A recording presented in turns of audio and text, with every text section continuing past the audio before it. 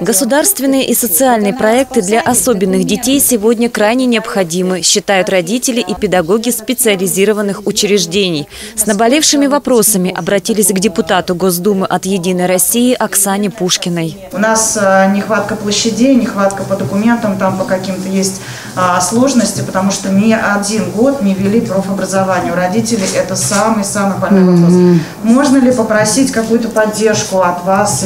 Совсем маленькое здание школы «Надежда» давно нуждается в увеличении площадей. Эта проблема не только влияет на качество образования. После девятого класса у ребят нет возможности получать профессиональную подготовку. И это проблема общероссийского масштаба, говорит парламентарий. Мама, а, у которой ребеночек особенный, не должна переживать за то, что ей некуда его отвезти в школу, им будет заниматься непрофессиональный человек или слабопрофессиональный. И далее заканчивает ребенок эту школу, и дальше чем он будет заниматься до старости лет, как он себя будет обеспечивать, а, обустраивать.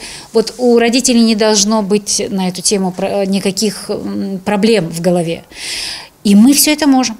Положительным опытом уже могут поделиться некоторые регионы России. Обучение и трудоустройство особенных детей очень хорошо отлажено, к примеру, в Ленинградской области, поделилась Оксана Пушкина. Необходимо лишь перенять и начать применять его на практике. Эта работа уже ведется в рамках партийных проектов «Крепкая семья» и «Новая школа». Полина Бахова, Станислав Трифонов, телекомпания «Одинцова».